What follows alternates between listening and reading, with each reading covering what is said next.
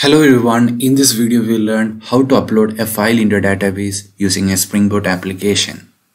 Here you can see I have already created a Spring Boot app project and in the pom.xml I have added dependencies for Spring Boot Starter Data JPA, Spring Boot Starter Web and H2 database. Now we will start by designing the data layer by creating the model class. Uh, first we'll create a package which ends with model and inside that we'll add a class called filedb.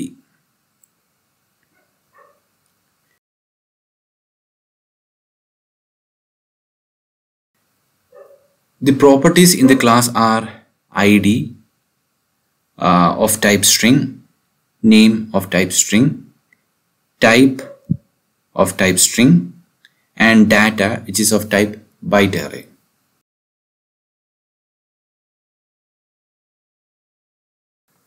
Now we'll make this class as an entity class by adding the annotation at entity. And we will call this table as files by using the annotation at table. Then we'll annotate id field with at id annotation so that it will be denoted as primary key. And we need to annotate data field with at LOB annotation. Uh, this is because we are converting the uploaded file into a byte array and data in this field will be large. So using at LOB annotation, we are telling the database that data in this field is large. Now we'll generate the getter setter methods. Then we will add the constructor and also we'll add a default constructor.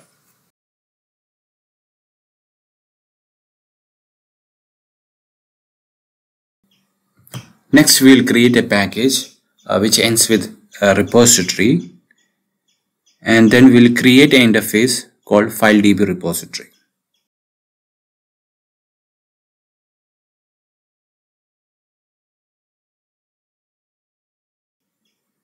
We will annotate this interface using at interface annotation and then extend it with JPA repository.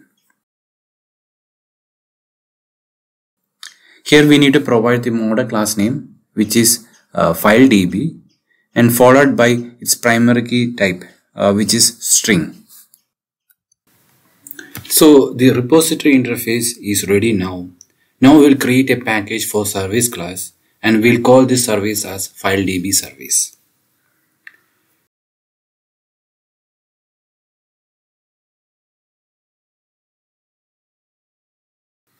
Here we will annotate this class using at service annotation and this class will mainly have three methods. One is to save the file to DB, second one is to get list of files in DB and third one is to retrieve a single file. We will start with the method to save file. Let's call this method as public void store uh, with parameter multipart file. Inside the method, we will declare a variable which holds the name of the file. We'll get the name, file name using the file.get file original name. After that, we will create an instance of FileDB. And inside the constructor, we need to pass uh, the ID as first parameter. For generating the ID, we'll use the UID class that is UID dot random UID dot toString. The second parameter we have already passed the file name.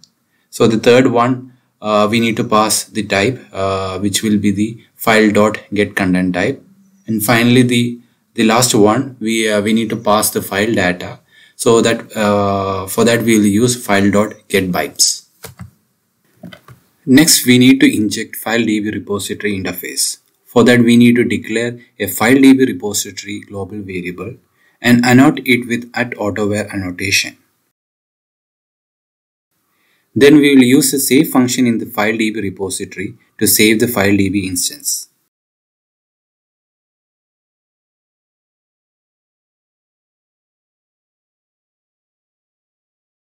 Here you can see an error for IO exception. So let me use throws IO exception for this method. Then we'll return the file DB instance Now our store method is ready. Next, we will create a method for retrieving a single file. The return type of the method would be file DB and name as getFileById with id as parameter. Then return, then type return uh, file uh, db repository dot file by id id. Since the return type of the file by id is optional, we will declare a variable called file optional and assign the value into it.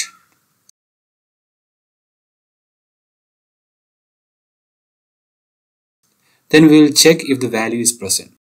If value is present, then we will call the get method and return uh, its value.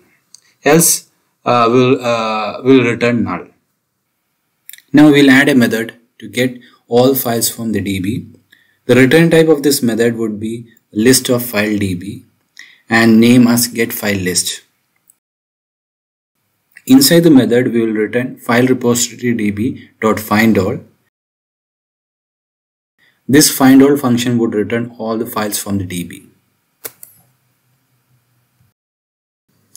Next we will create a package and in that we will add a class called file db controller class.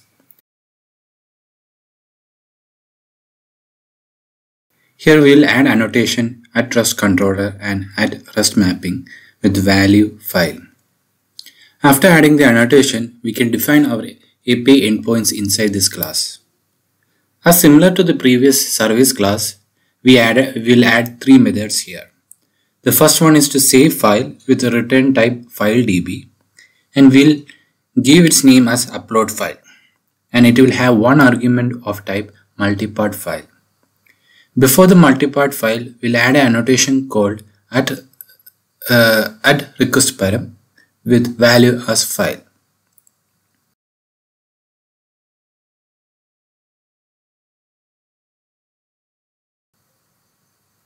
Here we need to inject a bean for file db service class.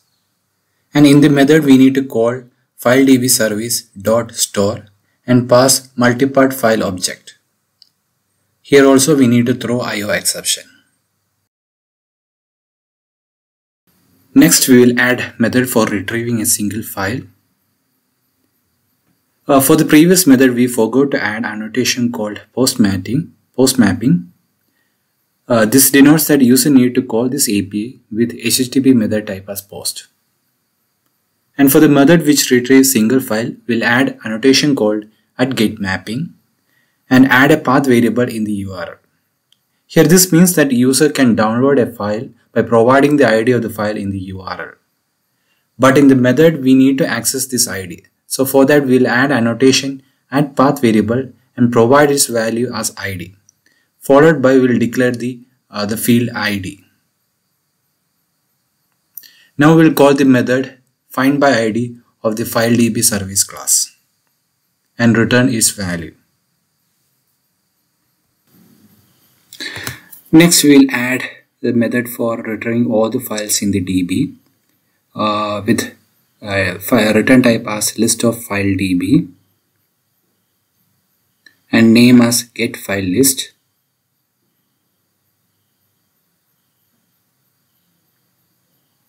And inside the method uh, we will call uh, file db service dot get file list